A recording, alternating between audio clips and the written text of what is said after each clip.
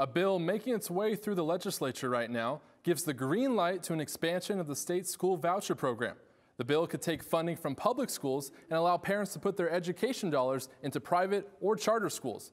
Back in 2018, citizens voted against a similar expansion. Education advocacy groups took center stage at the state capitol to speak out against the expansion. This new bill, approved by the Senate on Monday, would allow families in low income districts to attend private schools outside their neighborhoods. But advocates believe the money should instead help the public schools and neighborhoods that families and students are currently living in.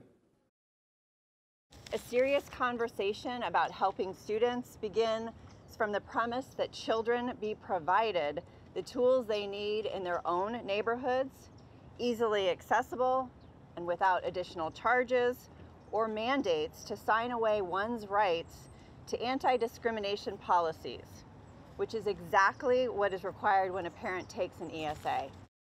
O'Brien believes instead of providing empowerment scholarship accounts, students and parents deserve solutions to grant every student the opportunity to succeed.